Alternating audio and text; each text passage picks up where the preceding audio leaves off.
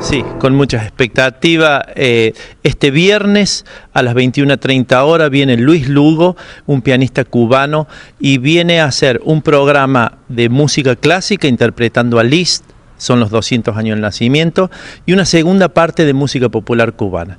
Hay danzas cubanas, hay, hay unas obras de Ernesto Lecuona, un músico cubano muy reconocido, y después acompañado por una cantante que es Paula Genoni, que viene de Buenos Aires. Riquísimo currículum y trayectoria la de este intérprete, ¿no? Eh, bueno, él es, cubano, eh, estudió en Moscú en el Conservatorio Tchaikovsky, es profesor, licenciado, máster de música y tiene eh, presentaciones a nivel mundial, ¿no?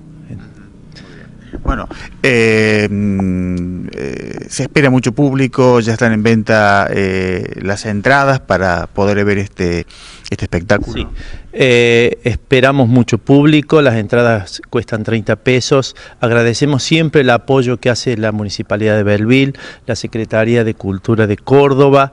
Eh, ustedes saben que la organización de estas es muy complejo. Lo estamos esperando al pianista mañana y queremos invitar en, e, en un encuentro abierto para todos los músicos con nuestros profesores y alumnos. Luis Lugo se presenta a las 4 de la tarde para hablarnos de música cubana. Todos los músicos de Belleville están invitados a este encuentro abierto.